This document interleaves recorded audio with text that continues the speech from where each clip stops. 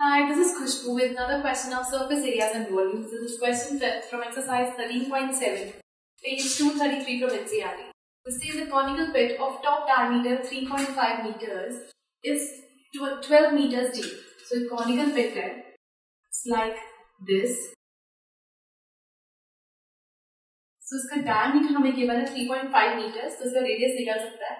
And depth is 12 meters. What is its capacity in kiloliters? capacity कितनी है इसकी so the height is 12 meters diameter is 3.5 meters so radius will be 3.5 meters by 2 so हमें find करनी है इसकी so this will be 20 5 sevens are 5 fours are so radius is 7 by 4 meters so हमें find करनी है इसकी capacity in kiloliters so volume is equal to 1 by 3 by r square inch. So 1 by 3 into 22 by 7 into radius is 7 by 4 into 7 by 4 into height is 12. The 7 to 7 cancel, 3 ones are, 3 fours are, 4 to 4 cancel, 2 twos are, 2 elevens are. So this is 77 by 2.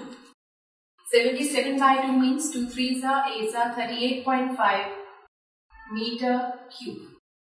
ये हमारे पास आ गई volume हमें capacity निकालनी है kilo litres में।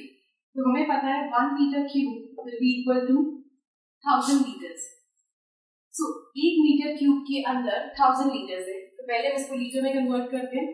So thirty eight point five metre cube will be equal to thirty eight point five into thousand so that will be three eight five triple zero litres decimal एक के बाद है तो एक place के बाद decimal अब वन किलो लीटर के अंदर होते हैं वन थाउज़ेंड लीटर्स तो दैट मीन्स इसको किलो लीटर में लाना है जिसको डिवाइड करना पड़ेगा.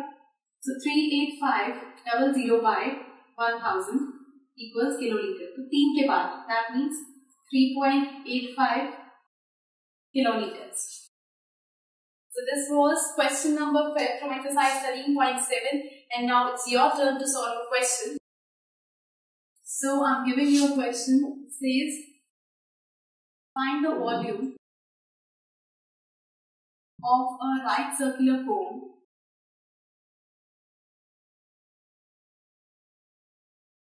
whose diameter and height is 14 centimeter